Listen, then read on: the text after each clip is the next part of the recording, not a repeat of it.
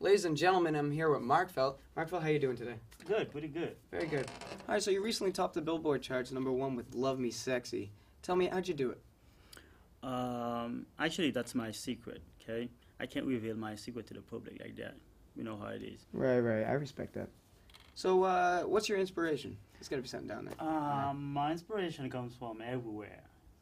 So I can come from the by the street, seeing people talking, walking, uh, fighting.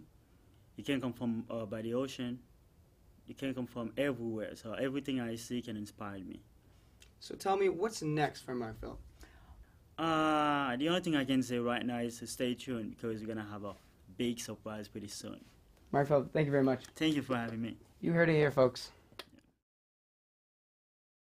Hi, I'm Ashton Kutcher. I'm here on the set of Punk'd, and you're going to watch a new episode coming shortly about Mike Davies and how he and the cool kids have fucked it up for the last time.